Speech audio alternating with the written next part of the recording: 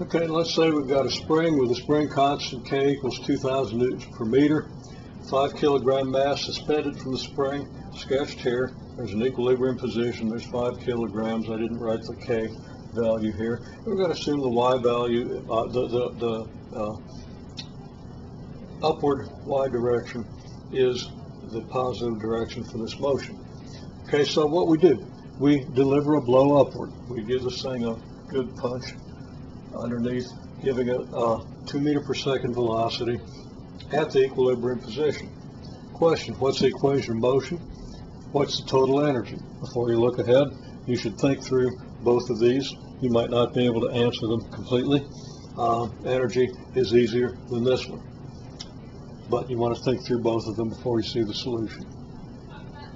Okay, now, assuming you've done that. Um, if we have simple harmonic motion, it follows that we have, well, let's, let's say we've got mx double prime equals negative k over m. I'm sorry, negative k times x. We're going to divide by the m, and then we'll get k over m. And that implies, and so forth, this or this. Okay. Again, uh, you can review how we got these equations. They come directly out of the solution of this differential equation. Uh, and the differential equations are easy to solve. So this is perfectly within your realm. Okay, within uh, expectations. Okay, now let's use the cosine model. Uh, it'd be more natural to use the sine model because we could think of the motion of the unit circle projecting directly on the y-axis so that we would be looking at the sine of the uh, reference position.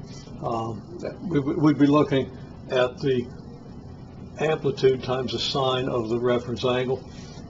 Uh, so this would again be more natural, but I want to use this because we can address the whole question of this theta naught if we use the cosine.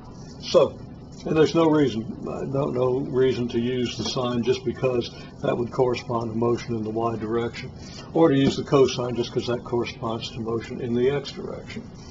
Uh, we could use either model, either way, and the models are completely equivalent.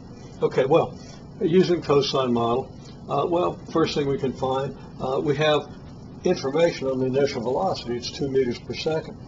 So using the cosine model, uh, we take the derivative of the y, and we get y prime equals negative omega a sine of omega t plus theta naught. And we know that v of 0 equals 2 meters per second. So what we get is negative omega a sine of uh, omega times 0 plus theta naught equals 2 meters per second. And now I said in class that theta naught is pi over 2, omega a is 2 meters per second.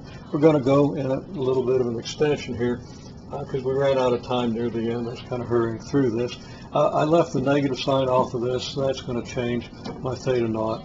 And um, my omega a is still going to be 2 meters per second. So we'll go on with this in uh, another video, in an extension video.